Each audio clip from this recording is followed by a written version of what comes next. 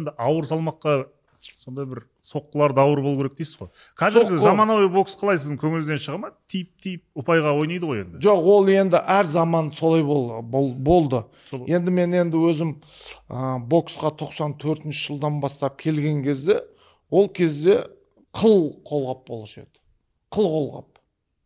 Бұл аттың қылы деген баяғы да? аттың қылымен деп енді ол қыл біз мен көп кие алмадым оны. Бірақ бір екі жарыс кидім одан кейін ә, 96 жылы олимпиададан кейін ә, жаңа мынандай губка мочалка шықты. Қазіргі сол кезде көп балдар онша бокста салмай қалды түсінбей қалды.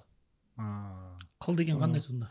Ше кәдімгі мынандай аттың қылы бар ғой құйрығы қылы. Содан қолғап жасайды ішіне. Форма жасап сондай кезде Қатты ма соққан кезде? қатты болады иә. Ол ол бокста көбінесе ыыы, мынау есеңгіреу нокаут деген көп болатын еді ол кезде. Сол кезде көп балдардың қолдары да. Ол кезде қыл болғанмен бұл кездегідей мынандай орайтын қолындағы шаршығы бинтті көп ол кезде несімен беретін еді? Нормасы болушы еді. Бірде бір жарым метр ма сондай еді. Біздің мына дәу қолдарымызға жетпеу қалды соны жет, жеткізіп байлаушы едік. М. сондықтан енді бірінші боксқа келген кезде ауыр салмақта қалай ұрып мына қолды қалай мынау ыыы, қоспаларды мына кистілерді қалай ұрып мынандай екі ы, жұдырықтың екі саусағын тигізуді үйрету керек біріншіден. Жаңа не дейді мынау? Школасын мектебін қою үшін да ы, аяқ қалай тұру соларды ауыр салмақтылардікі бөлек болады ол. Менің бапкерім ауыр салмақ емес ә, жеңіл салмақтылардың жұмысын көп істетті. Мен өйткені мен кеш келдім мен кеш келгеннен кейін ә, менде ә, жаңа физикалық күш көп болды. Жаңағы мышцаларымның бәрі жаңағы көкпар шауып дайындалған ауылдың қара жұмысы не маған тек жаңағы ә, жылдамдық школа нені қою керек болды да. Сондықтан мені ә, үш мезгіл жасатқан күндері болды. Мына оқу жиын жаттығудан бөлек үйде дайындалған кезде үш мезгіл жасатқызу үшін сол кезде. Сол қалай жасаған дұрыс? Физиканы көп берген дұрыс па? Бұл енді жаңа айтады кеңес одағының мектебі сондай ғой. Көп Иә, еңбек ету иә. керек деп та- мысалы. Ал қазір тиімді еңбек ету керек аз жұмыс жасап бірақ нәтиже алуға болады дейді да. Ол сізге кім айтты? Ол ол бұл бокс спорт спорт ішіндегі бокс. Мен қай жерде жүрсем де еңбекті талап етеді. Ең, ең көп еңбекті талап етеді. Бірақ еңбекті орнымен қоятын адам керек оған. Орын орнымен. Қазір енді м, 2000 жылы 2000 жылдан кейін 2004 2006 8 ден кейін уже біздің боксымыз құлдырай бастады өздеріңіз білесіздер. Иә. Енді қазір а, бізде боксты осы кешегі париж олимпиадасынан кейін а, оғаш өр бір алтын болып кейін жаңа алтынсыз а, медальге енді пандемия болды деп бір сылтау айтылған кез болды. Енді қазір қолға алды. Қолға федерация жөнінен болсын ә, қай жер ә, жаңа министерство болсын боксты өйткені біздің қазақстанда білесіздер ә, бокста барлығы бірінші болып келген еді. Иә. Енді соған қазір ә, боксты көңіл аударылмай ә, осыған сеніп қалып сенім көбейіп кетіп еді. Енді нәтижесін көрсетті осы жылы. Сондықтан қайтадан жиналып мынау боксқа ә, бір не құру керек болды. Қайтып держава болу керекпіз дейсіз держава болу керек. Бұрын ә, біз қазір енді өзіміздің боксымызды көтеру үшін мықты мемлекет боксшыларды шақырып жатырмыз қазір бастадық. Мықты жатты, ә, жаттықтыруларды шақырып бастадық. Қалай тамақ беретін ә, қалай не Иә. бастап жатырмыз. Ал осы күнге шейін бізден а, сұраушы еді. Бізден.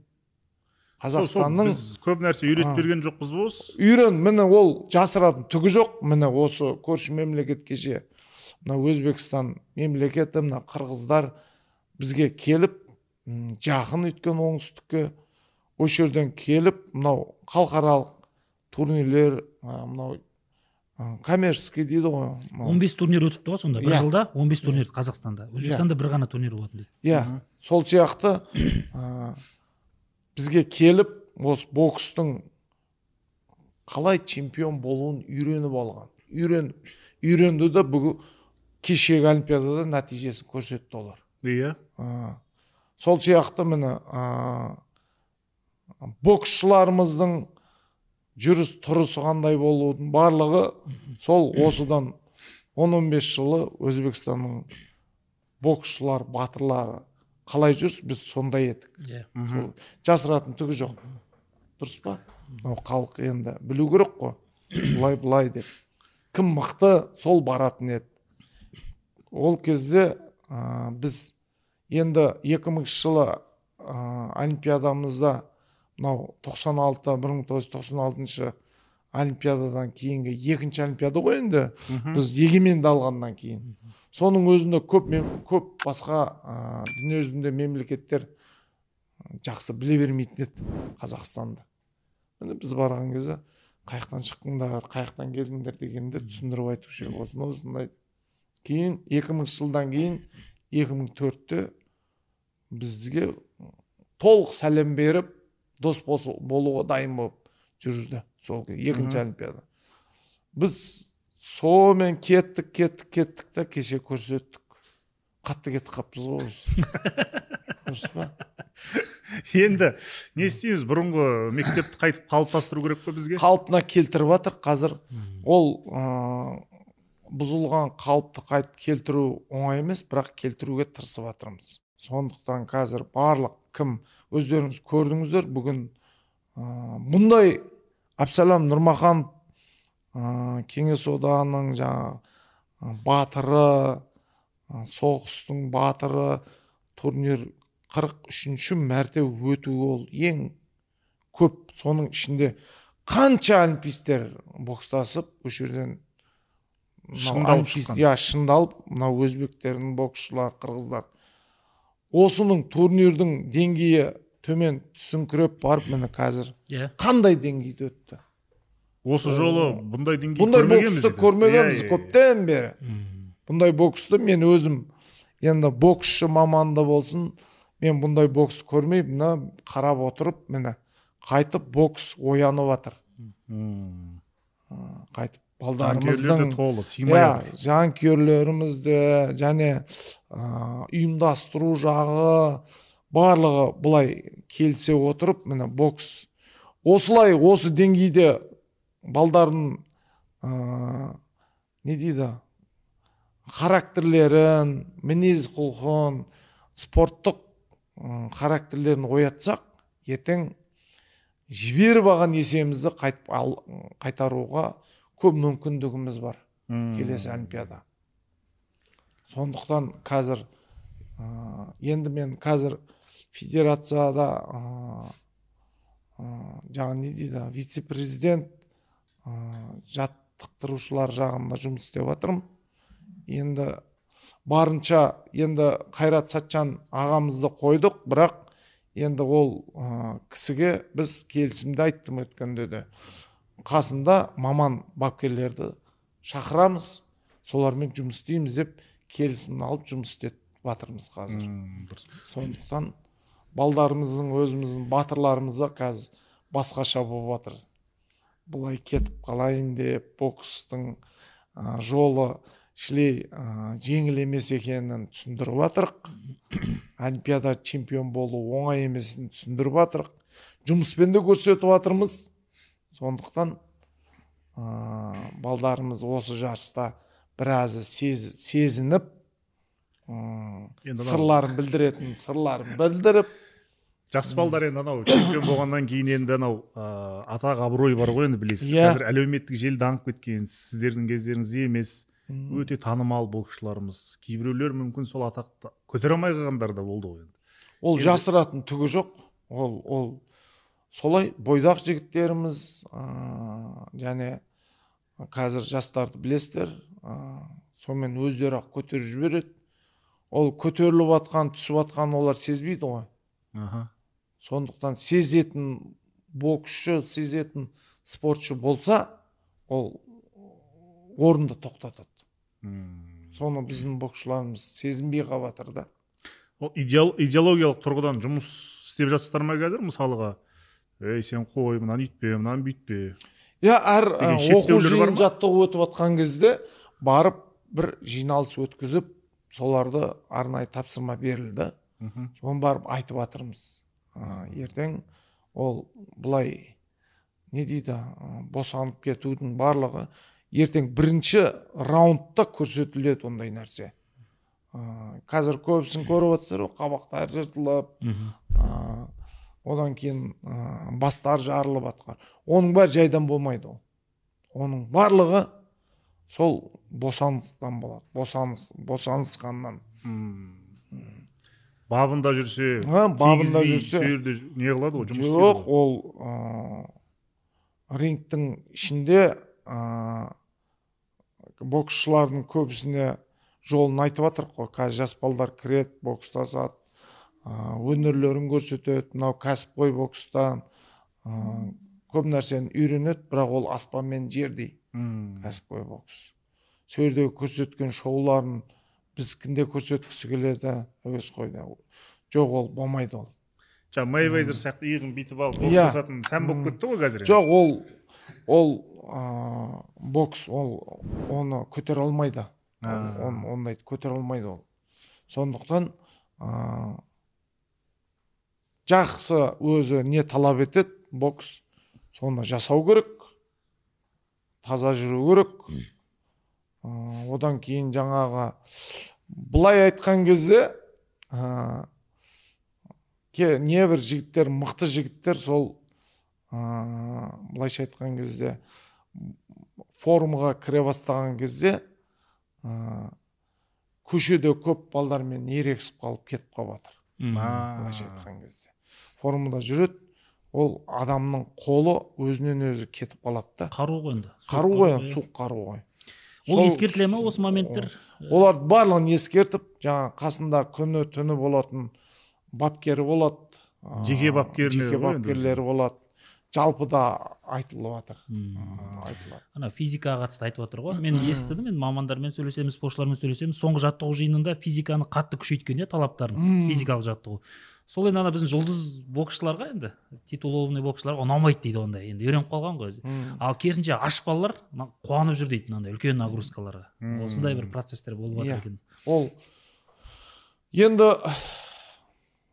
былайша айтып кетсек енді өткенді қозғады деп айтар енді. Ол кезде біздің уақытымызда ә, мынау александр апачинский деген ағайымыз болды ғой. Ә, ол василий жировтың бапкерін білесіздер. Ол өте жаңа ауыр салмақтыларды дайындаған кезде өте қатал еді ол. Ол аямаушы еді ол. Сенің мына жерің сынып қалды ауырып қалды деген. Біз айтуымызға ұялатын едік ол ол кезде айтуға. М. александр иванович апатинский осындай осындай.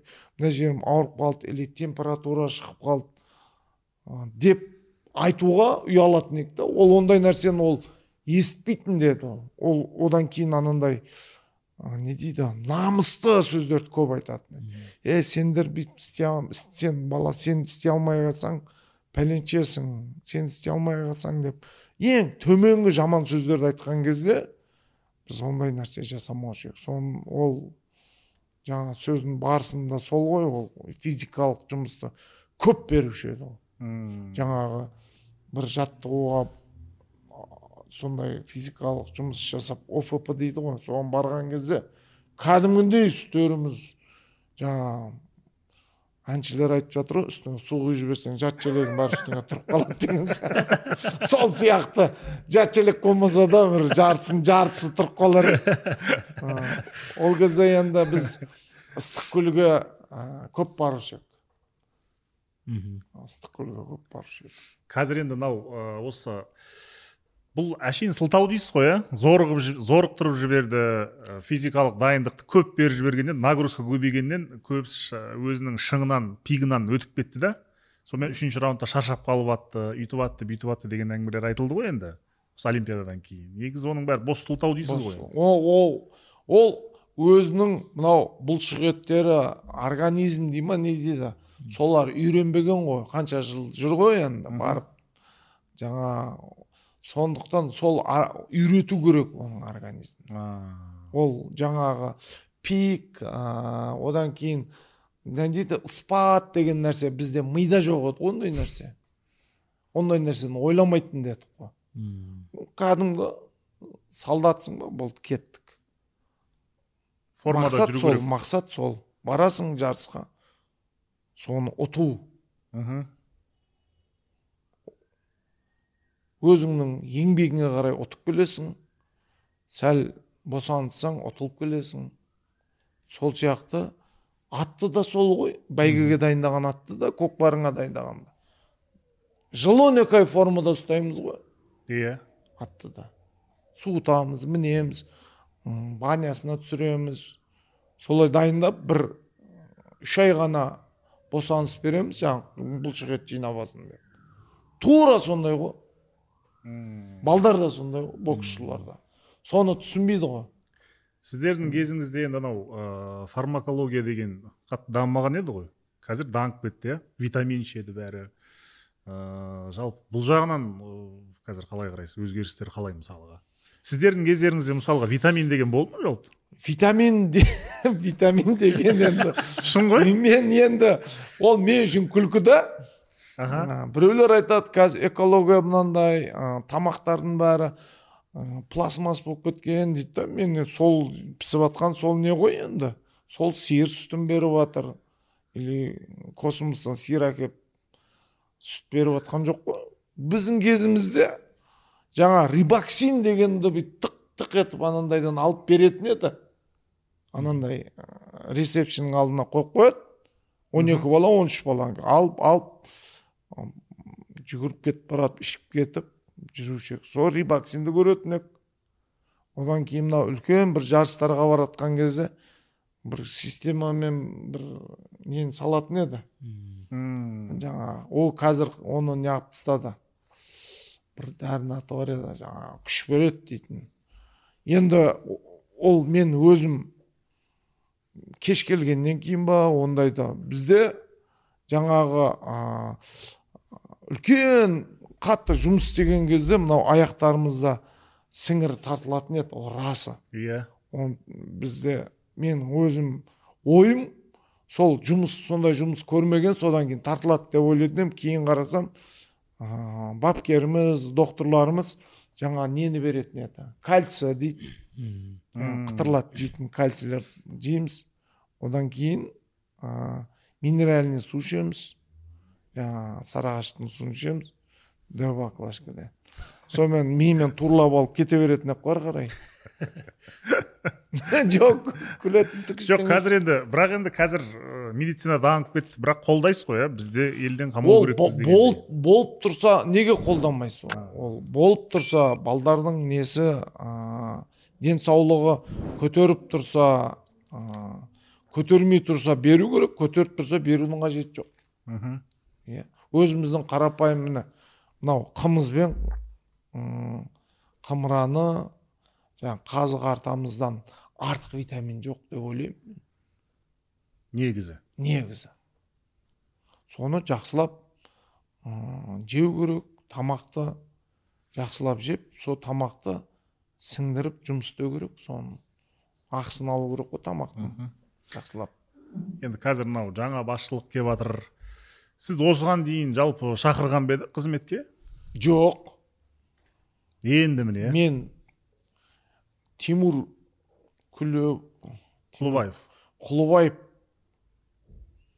деген амандасқан адам емеспін көрген емеспін ол мені де танымайды оның әкесі бокстасып жүргенде асқар күлібаев иә иә біздің президентіміз болды ол кісіні жақсы танимыз ол кісімен біз спортсмен кезде біздің президентіміз болды бокс қызығатын еді ғой ол кісі қатты ол қызығатын еді одан кейін федерацияның президенттерін танымаймын. Амандасқан адам емеспін мен. Ол ол танымайтын шығар бізді. Енді мына ә, кеше олимпиаданың алдында үш ай қалған кезде басшылық ауысты федерацияның ә, шахмұрат мүтәл деген жігіт өзі өзі ызбандап өзі ә, осы федерацияға жұмыс істеуге ұсынды.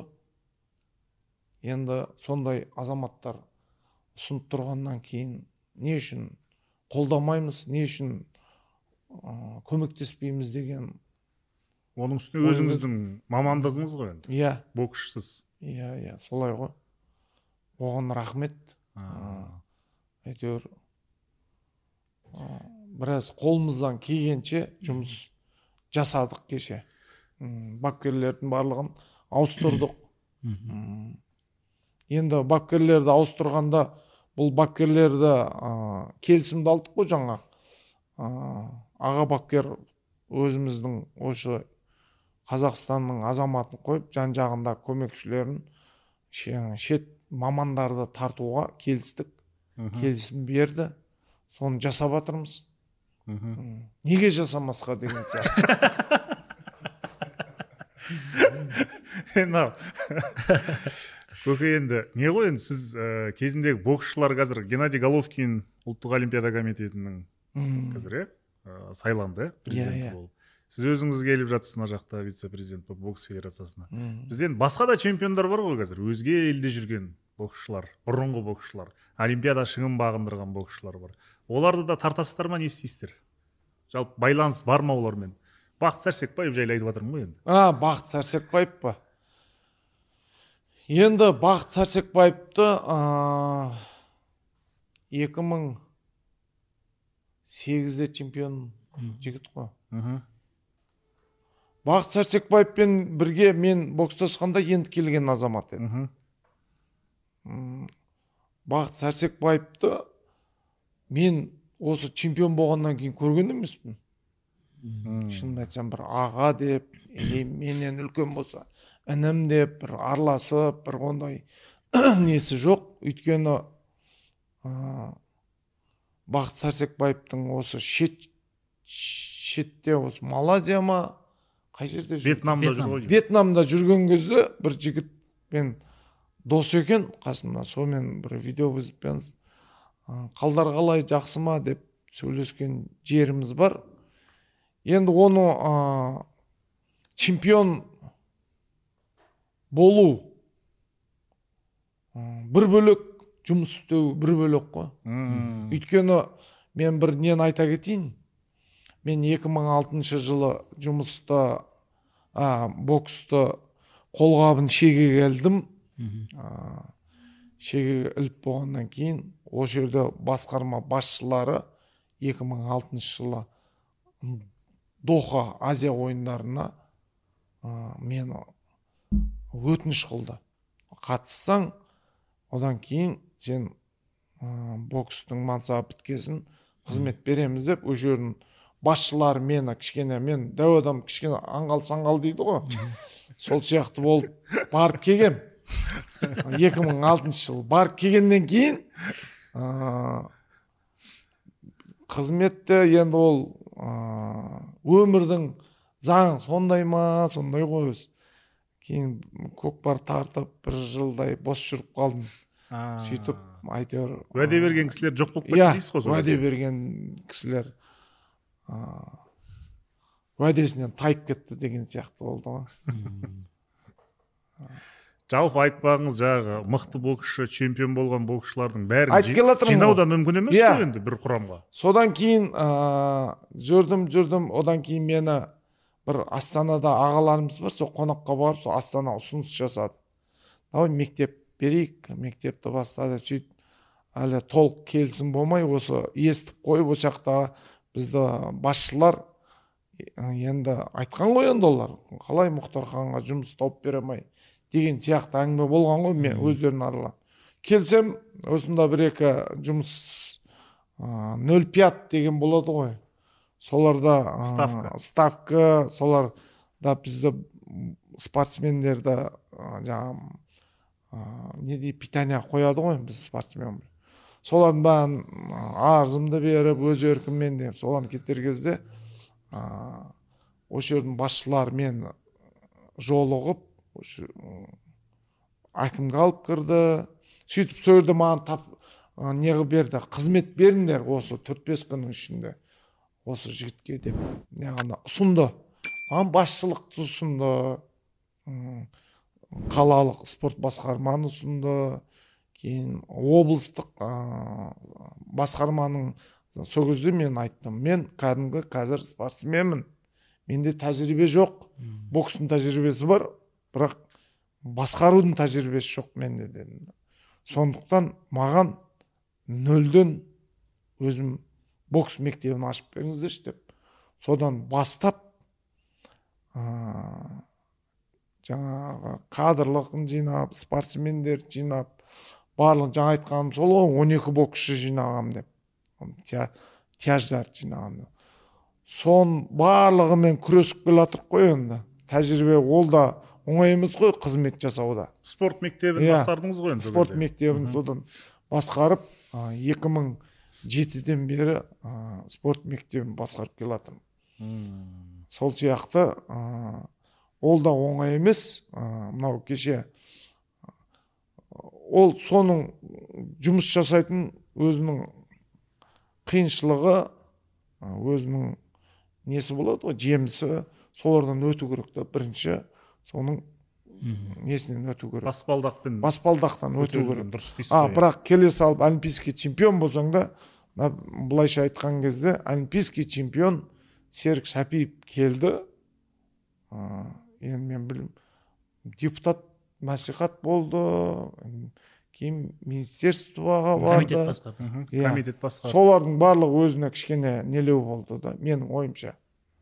Ол ұзақ бүйтіп төменнен бастау керек иә. еді дейсіз ғой. Иә өзінің мен айттым менің шамам келетін мектеп ашып беріңіздер сол мектеппен мен тәжірибе жинайын деп содан келе жатқан жерім бар. Неге жасамасқа?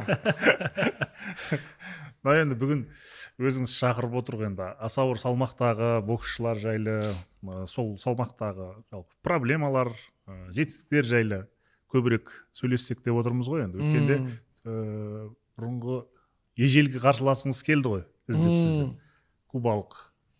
Рубал. Алек, алексис рубалкава. Рубалкава келді ғой. Жолықтыңыздар не айтты ол кісі сізге? Не дейді?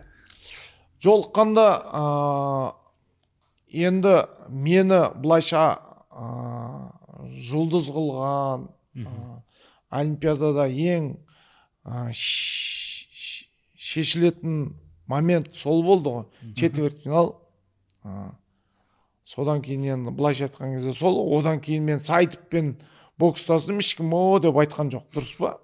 Енді бұл рубалкабы деген ол біздің қарсыласқа менің бокстасқаныма ыңғайлы жігіт та ол. Былай тіке ұрсаң қолың жетпейді екі де алты бойы. бойы менен. Почти 15-16 сантиметр жоғары сол ә, соны кейін келгенде әңгіме қылдық қой соны бокс көреді ғой көптен бері ол запись жоқ еді ютубқа түсті өйткені бір ол қанша жылдан бері осы ютубтан бір российский каналдан шығып қалды да соны біз тез басып ал, жасап алдық сонымен көріп енді мынау әлеуметтік жерде барлығы көрді сонымен біздің басшылық федерацияның басшылықтары кеше мынау биыл он үшінші турнир өтеді менің атымда.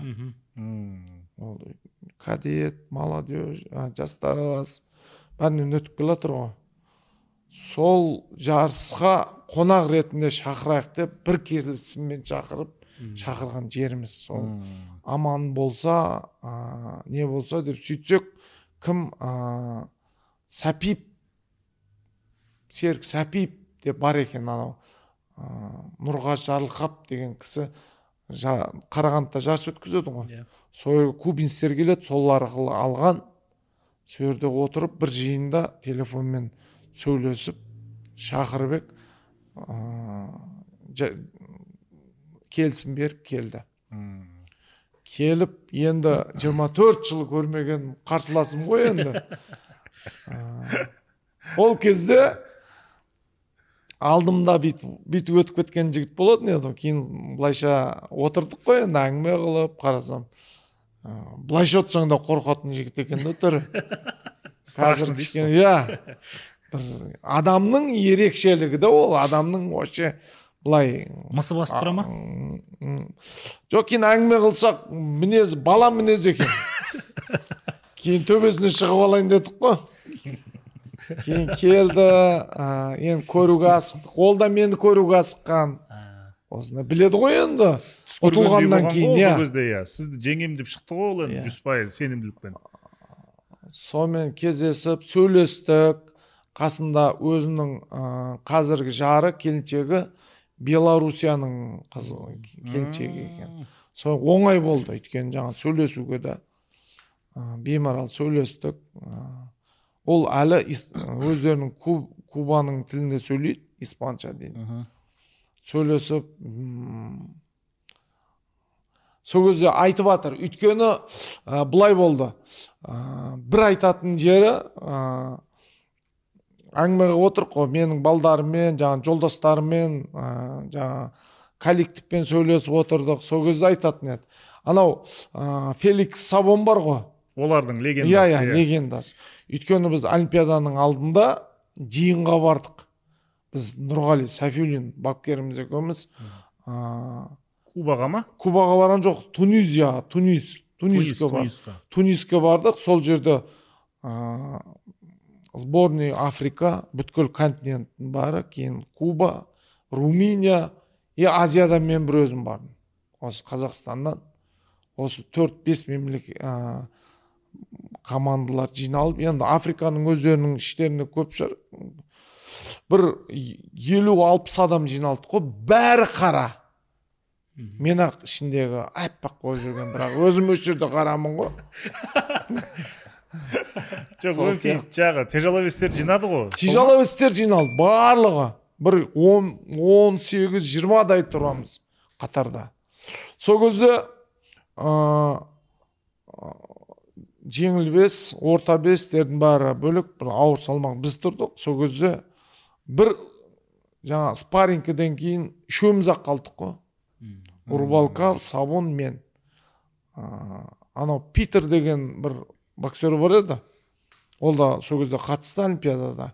Бір василий жиров келіп бокстасқан бар негр бокстасты ғой. Питер Иә, иә, иә. самуэл питер кім еді сол. Сол бар еді ол бір спарринг қатысты ол да кетіп қалды кейін бокстаспады сіз анау сол. америкаға барып дайындалған кезіңіз қашан еді? Сол. Жоқ мен мен сол кездегіні айтайын да Иә, сол А, әңгіме иә, қылып отыр ғой иә иә иә. сол кезде тройкада істейміз.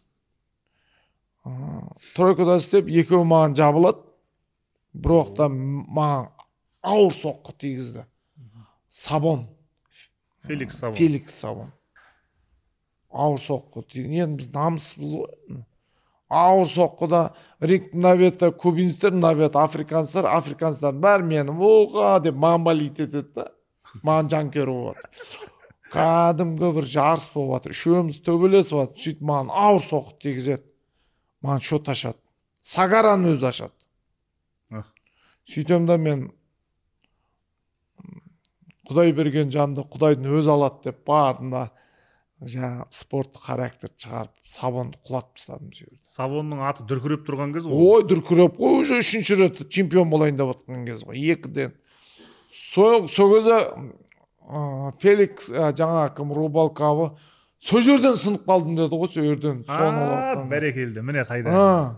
Сол кезде сабонды сіз құлатқанда иә ғой. Сабонды мен құлатып оны кейін рингтен кейін спаррингке шығармай қойды оны содан кейін рубалкабы маған жеп жеңіл болып қалды да сабоннан кейін. Ол өте тәжірибелі ғой.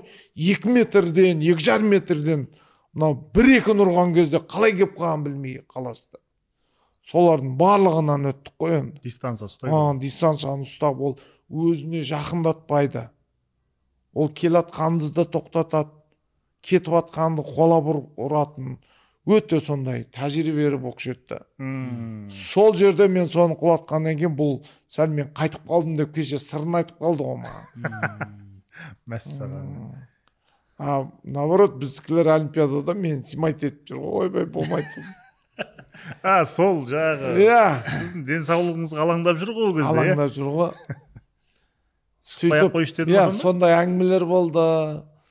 Кейін қуанып ыыы қонаққа шақырып жаңағы барынша аяғын жерге тигізбей күттік қой енді. Соған ба подаркасын жасап риза боп жаңағы жол енді анау ы, жары келіншегі басқа мемлекеттің адамы болды соның алдында кішкене еңсесі көтеріліп қуанып қалды енді бір қуантып жаңағы біздің федерацияның басшысына рахмет сондай бір не шақырып қонақ қылып жіберді. Өте қонақ жайлы екенсіздер деп кетті. Өйткені ол алдын спортсмен кезде қанша рет оқу жиынына жаттығуына келіп жүрді ғой. Жаңағы қыстың күні бір бір несі бар? Қыстың күні алматыға келді бізбен жаңағы кездесу өткізгенде келді. Сол кезде қыстың күні келгенде қар көрмеген ғой олар көбісі.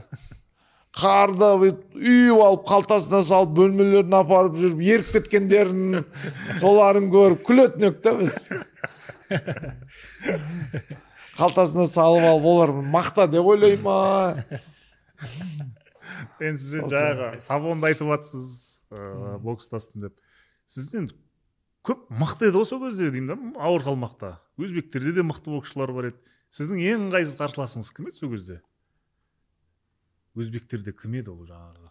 Закиров болды одан кейін тағы жоқ закиров кейін қой закировтен кім болды? Саитов. Саитов рустам саитов болды. Ол 91-дің баласы еді кейін шагаев бар еді ғой. Шагаев бар еді шагаевтан өтпей кейін ауыр салмаққа кетті. Ауыр салмақта келіп жүрді. Енді ыыы былайша айтқан кезде оқу жаттығуында көп болушы едік онымен жарыста көп болушы едік ыыы бір бірімізге үйреніп қалғанбыз да бір бірімізге екеуміздің де бойымыз да салмақтарымыз да бірдей ә, сонымен мынау ә, олимпиаданың алдында осы ә, төрт мемлекет күшті мемлекеттер деп белоруссия украина өзбекстан қазақстан россия бар россия төрт мемлекет еді беларусь емес украина ма еді иә төрт мемлекет бес мемлекет сол. Мықты кездесу өтетін еді сол мықтылардың кездесуі деп. Сол кездерде де ә, бет қаратпай ұрған кездер болған. Бір бірімізді ә, чемпионат азия лицензиялы турнир ә, 99-да неде болды? Өзбекстанда. Өзбекстанда болған ол ол алды ы, жолдаманы. Кейін соның алдында олимпиаданың алдында турнир болды. Ол кезде мен таза жеңіске жетіп одан кейін олимпиадаға бардық. Өрде жеңіп ал енді ол жерде саитовтың жаңа рингтен шықпай жүрген себебі айтайын. Енді көбісінде біртүрлі шығар енді ол. Мен рубалкава алекс рубалкавамен шығам. Енді ол ы, алекс рубалкавамен шыққан кезде ол қай боксшы болсын ұтып кейінгі бойда ұтылатын еді. Барлық қарсылас. Өйткені оның соққысы бар. А, одан кейін барлық нені беріп қоятын еді. Бүкіл күшіңізді энергияны беріп қояды көбісі. Анау бізде кім бар еді? Итальянец бар еді. Ыыы, сол рубалкабыны ұтушы еді бірақ кейінгі бой ұтылатын еді. Барлығына ұтылып қалатын еді. Ы, кім деген? Ы, кейін неде кім бар ғой? Витус витус Витус. витус бар еді. Витус сол рубалкабыны ұтқан әрдайым ұтқан оның защитасы тұрысы қатты соққыны күтіп алып защита жасайтын жігіт бірақ кейін кейінгі бойлары уже ұтылады. Қай қарсылас болсын М. сонымен олар ойлады мен Саитов рубал сіз А, ойлады ғой, солай ойлады ғой. олар уже мен шынымды айтсам бойдан шықтым ә, бойдан шығып үйде екі күндік сол күнгі күнім бар кейінгі күнім ары күні уже бокстасам. Сол кезде олар ой болды мұхтархан бізге дайын деді да. Олардың ойынынан бөлек бокстасып қойдым да мен. Енді менде кубаны ұтқанда өзбекке ұтыламын ба деген ой келеді ғой ми келеді ғой енді. Дұрыс па? Деп те жібереміз да. Ол кезде қарсылас көрмейсіздер ғой өзбектерді ол кезде. Жоқ ол кезде қарсылас. бірақ мықты еді ғой олар да ол кезде. Абдуллаев абдуллаев бар еді шагаев бар еді михайлов бар еді сергей тургунов бар еді мен танитын.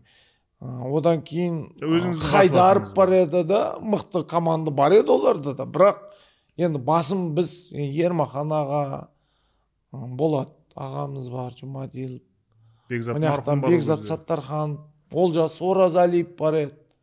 Бізде бұл жақтан бізде қалай айтады? Резерв тұратын еді да балдар. Резерв тұратын еді. Есімде сол кезде өте қызық болатын сол. Иә. чемпионат азия тоқсан иә. тоғызыншы жыл. Бір салмақ уже құрмет демалысына кетіп жатса мына жақтан жас дайын тұратын еді. Қазіргіде жоқ ондай. Қазір резерв жоқ дейсіз партта резерв жоқ. Қазір енді шықты енді қазір жастарға Мм. жастарды ә, кеше жиырма екі жиырма үш жасқа шейін жарыс бердік қой мына астанада. Сол кезде іріктеп алдық балдардың еңсесін көтеріп алдық жақсы.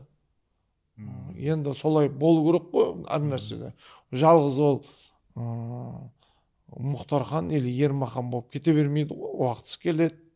Уақыт келгенін сезу керек боксшы әр боксшы.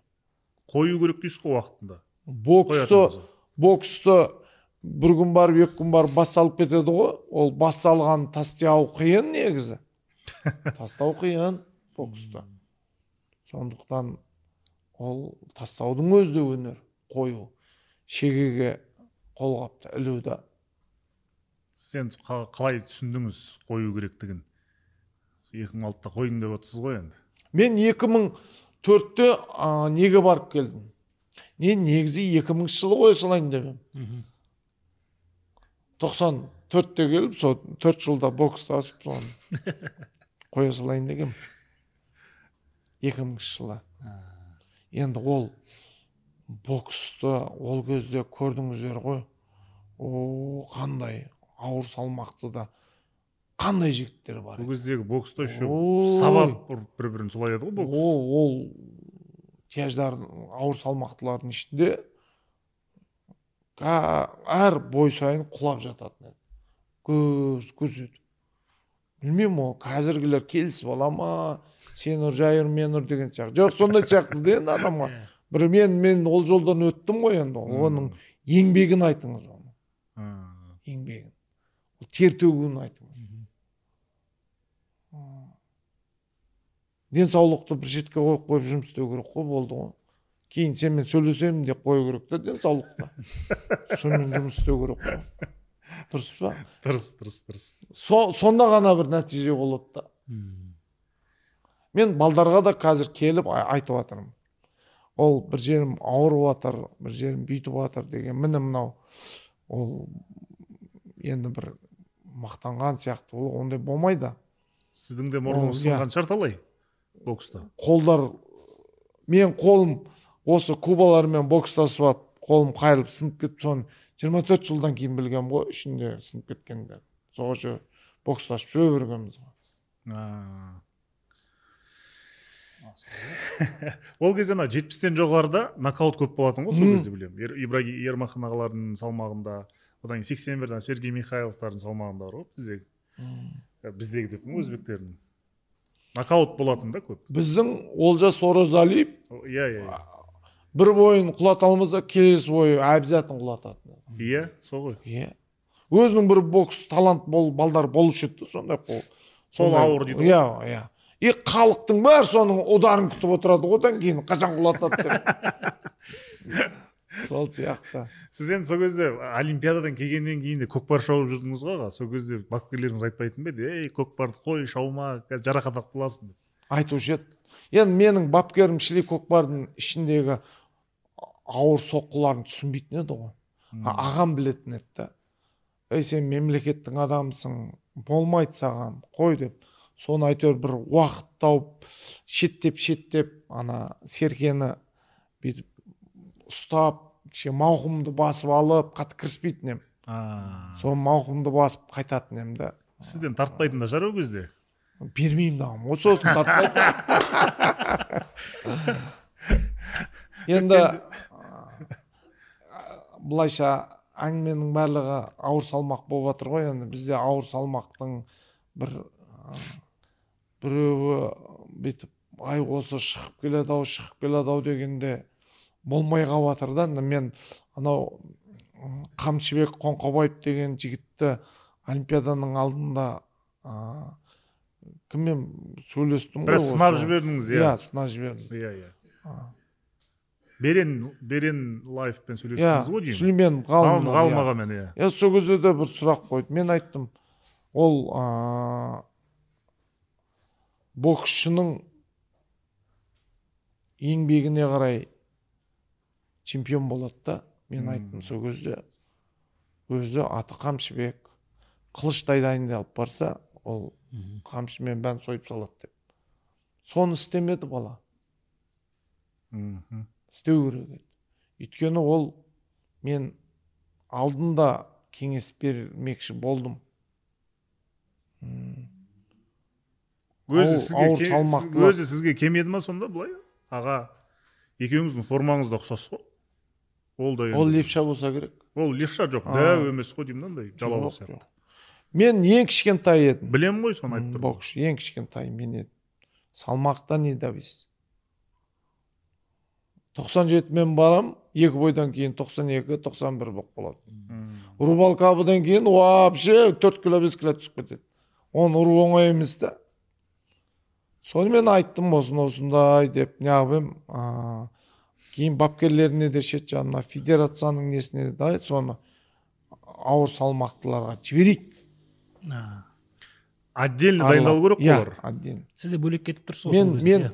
алты ай алдын кеткем мен лицензияны алдым да жолдаманы алдым соң ең соңында мен алдым таиландтан алдым сумкамызда асындық та бапкеріміз екеуміз қай жерде ауыр салмақтылар дайындалып жатыр соған барып бардық та тұрып алдық қой туниске барғаныңызда сол иә алты айдан кейін келдім ғой мен олимпиададан айланып а сол жақтан прямой олимпиадаға кеттіңіз ба одан келіп қарағандыда шығарып салды ғой бізді қарағандыда соңғы жаттығу оқу жиыны болды. Сол жерде дайындалып алматыға келіп алматыдан формаларымызды алдық. Жаңағы олимпийский фон соны ұшып кеттік. Қазір де солай істеу керек дейсіз ғой. Америкаға барып профессионал боксшылармен спарринг өткізіп. Жоқ өзі мынау енді бокс спорттың шыңы олимпиада ғой сол ең көрсететін жердің алдын солай жасау керек та. Сол ең, ең маңызды олимпиада ғой.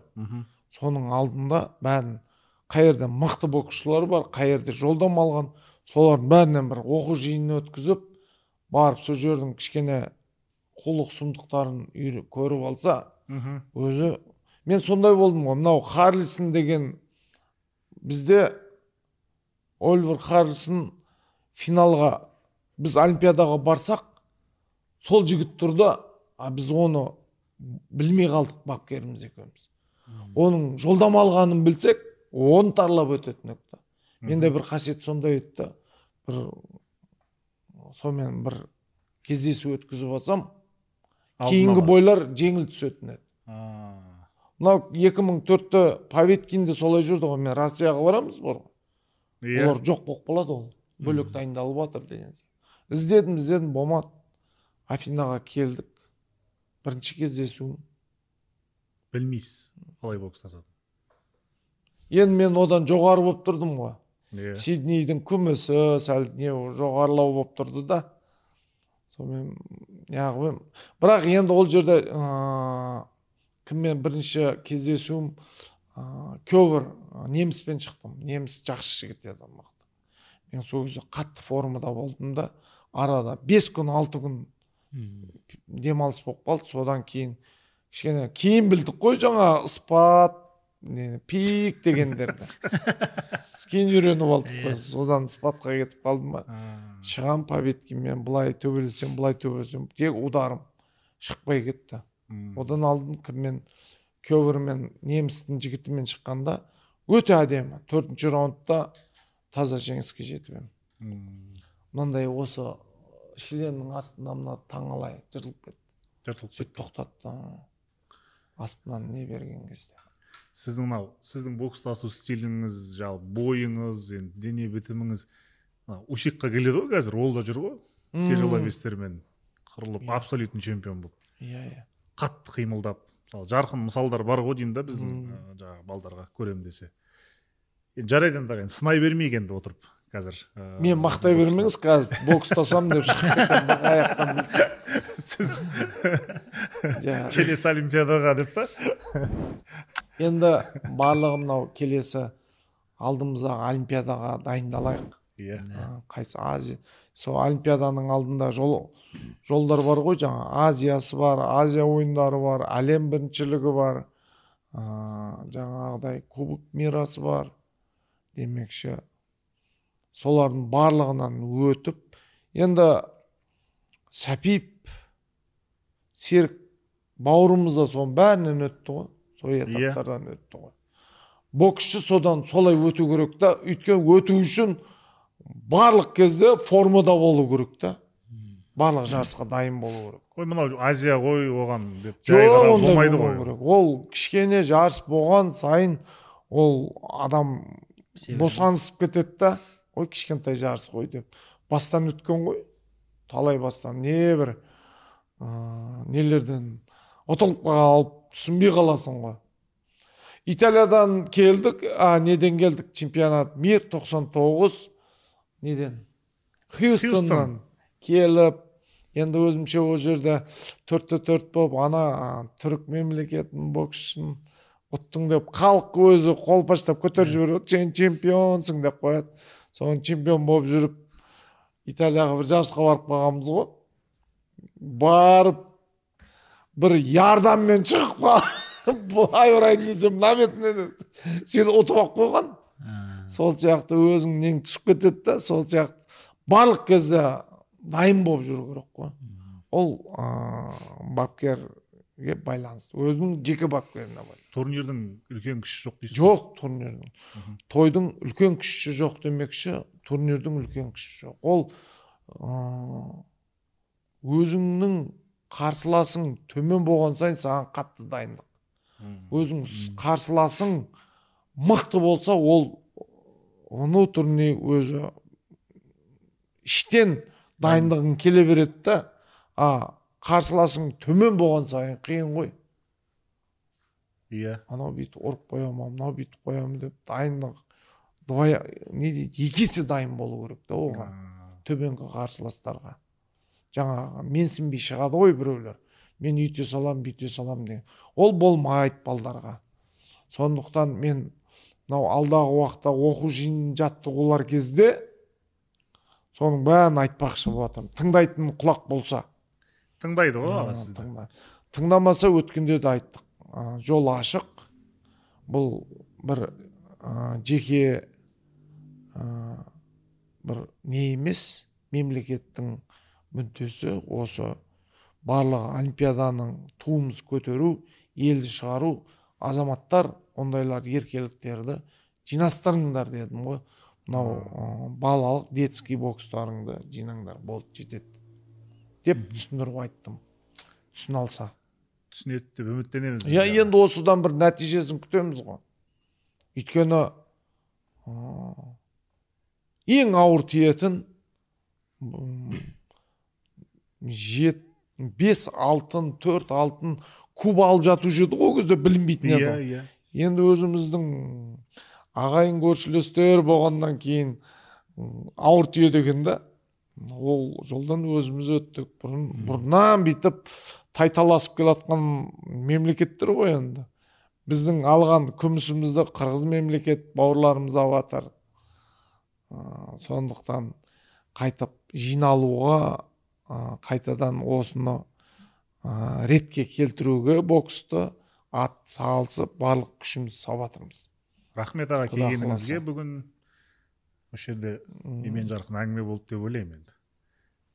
Келіскеніңізге келгеніңізге сұхбат бергеніңізге рахмет сізге. сұхбат әрдайым сіздерге да. Енді бұның барлығы өзіміздің еліміздің несі үшін ғой енді? Абыройы атағы ә, жаңа көрермендердің ә, тура ойыннан көру жай әзіл емес екенін спорт. Деген бұл былайша айтқан кезде менің түсінігім бойынша бұл өзіміздің мемлекетіміздің спортынан дамығандығын көрсететін нәрсе ғой. Мемлекеттің Жа- мемлекеттің жалпы дамығандығын көрсетті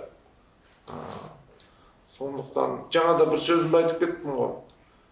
Сиднейде көп біз барғанда жүз тоқсан тоғыз мемлекет қатысқан. Екі жүзге таяу. Иә біздің туымызда мынандай сіз сияқты форма киіп алған кезде былайша қаяқтан шықты мыналар деген сияқты болады да. Кейін